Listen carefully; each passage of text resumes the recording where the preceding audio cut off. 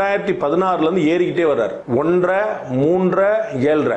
அப்படியே ஜம்ப் அடிச்சிட்டு இருக்கிறார் ஒருவேளை பேச்சுக்கு ரெண்டாயிரத்தி இருபத்தி நாலுல வந்து ஏழரைங்கிறது ஒன்பதரையாக பத்தாவது மாறிடுச்சுன்னு எல்லாரும் அவர் பின்னாடி போயிடுறது தான் நல்லது. குட்டி குட்டி கட்சிகள்லாம் அவர் தலைமையில் ஒரு அணியை ஏற்றுட்டு போயிடுறது நல்லது. நம்ம வந்து திருப்பி திருப்பி நான் கட்சி பண்றேன் நான் ஆட்சியை பிடிக்கிறேன் நான் அது பண்றேன்லாம் இல்லாம அவருடைய தலைமையை ஏற்று போயிடுறது தான் நல்லது. ஏன்னா தனிப்பெரும் கட்சியாக வேற யாரும் இவ்வளவு ப்ரூவ் பண்ணது கிடையாது. அதே அதே இடத்துல நின்னாலோ குறைஞ்சாலோ வந்து அது ஒரு சேலஞ்ச் அவருக்கு.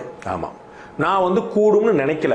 நினைக்கல. நினைக்கல. கூடும்னு நினைக்கல. ஏன்னா பாராளுமன்ற தேர்தலாக இருக்கிறனாலையும் போட்டி வேற ரெண்டு பேருக்கா இருக்கிறனாலையும் கேண்டிடேட் ஸ்ட்ராங்கா வேற ஆட்கள் இல்லாதனாலையும் பணபலம் உள்ளிட்ட விஷயங்களாலையும் பல காரணங்கள் இவர் வந்து அடுத்த தளபதிகளை வந்து இங்க வளர்க்காதனாலையும் பல காரணங்களால இது அங்க நிக்கும்னு நினைக்கிறேன்.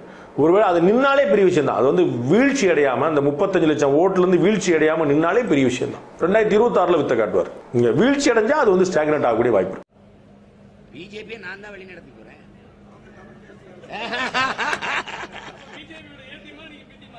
நான் தான் மெயின் டீம் எனக்கு தான் அது பி டீம் எங்க ஊர்க்கா சொல்லு மர்க்கா சொல்லு மர்க்கா மர்க்கா சொல்லு. பிஜேபியை நான் தான் வழி நடத்தி போறேன்.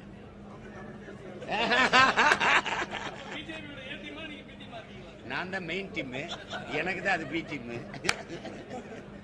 அந்த ஸ்பாட்ல வச்சு துவங்க துவச்சிருக்கீங்க நீங்க. மாப்பிள இவன் தான் எங்கேயோ செமத்தியா வாங்கியிருக்கான்.